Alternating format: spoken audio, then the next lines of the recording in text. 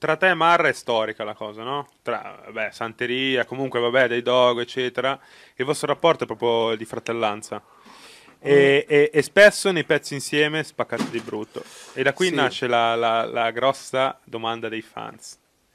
Un Santeria 2 ci sarà mai? Eh, allora, per motivi legali non posso dirlo. Certo. Eh, però diciamo che posso dire una cosa, diciamo che ehm, posso dire che non è escluso.